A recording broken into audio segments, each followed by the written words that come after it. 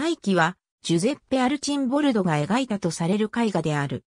連作、四大元素のうちの一つであり、アルチンボルド自身が仕えたローマ皇帝を称える、目的で宇宙の構成要素を組み合わせて高い、教養人であれば理解できるとされる内容を描いたものである。2017年現在は、スイスの個人像となっている。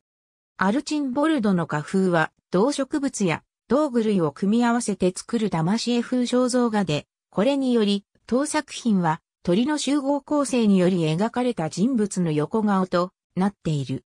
これら人物を構成する動物単独にも個々の意味が含有されており、例として当作と同様に四大元素連作の一つである水では、ライオンは勇猛さ、象は資料深さ、ブドウは豊穣などの意味がある。